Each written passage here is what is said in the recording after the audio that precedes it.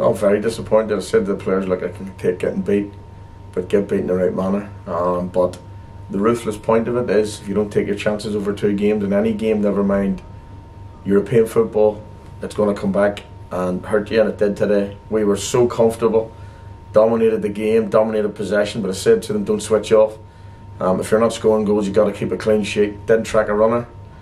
And then, uh, as I said to you, missed too many chances over the two legs, um, which is the, the hard one to take. Also, the goal, I've just asked the question if the linesman hasn't put his flag up, if there's no VAR, I don't know how the referee can wave the play back the centre circle. Then, when their players run over the linesman, if he's not in a position, the referee to give offside, he can't.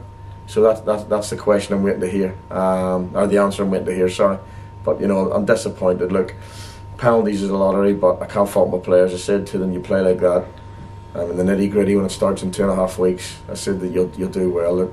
What I, what I mentioned, I have to give the fans the atmosphere tonight. You could see that the way they clap the players off the pitch. That's all I ask for is honesty. Um, there's going to be a few few emotions. We're hurt. I'm being honest, we're hurt, but we'll pick ourselves up. We'll go again. And amongst the hurt, are there positives that you can take from the, the two games? I think massively. You, you look at us. Great to get Jay back out there. Rory, you know, we've missed. Jay, Jay's been 75 80 percent today. Um, you know, we miss Shay, but you've got players coming in there. But you look at the positive, we dominated the game. You know what I mean? We, we played good football, we put balls in areas, just didn't have our shooting boots on at times. Um, but you know, that's football. If you don't put the ball in the back of the net, it'll come back to hurt you, and it did us today.